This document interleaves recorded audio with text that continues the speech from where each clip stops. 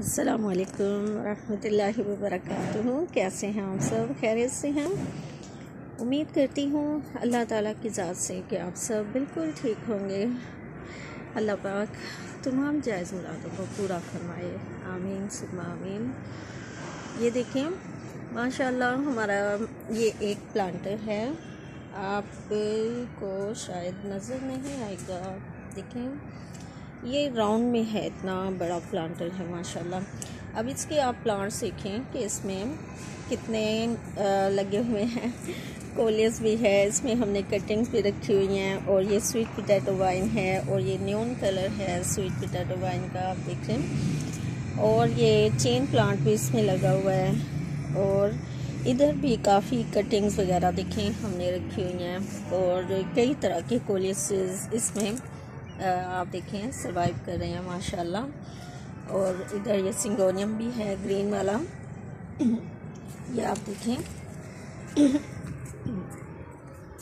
और इसमें से जब ये निकली हैं स्वीट पोटैटो वाइन आप देखें कि बहुत लंबी हो गई थी, बल्कि फ़र्श पे इधर पड़ी हुई थी। फिर मैंने क्या किया, इनको ऐसे समेट के, ये देखिए ऊपर, हमने इनको सपोर्ट दे दी, और ये ऐसे एक झरोका सा बना दिया ये देखिएगा, दूर से शायद नज़र ना आए, मगर ये बहुत खूबसूरत लगता है, ऐसे लगा हुआ। देखिए आप, झूम रही हैं कैसे। आज हवा भी चलाई हुई है, अल्लाह तला ने, देखिए। खूबसूरत लगता है ना ऐसे। आप भी क्रिएट करें अपने गार्डन को। ऐसे नहीं कि एक लाइन बना दी बहुत बड़ी और प्लांट्स ले आए नर्सरी से।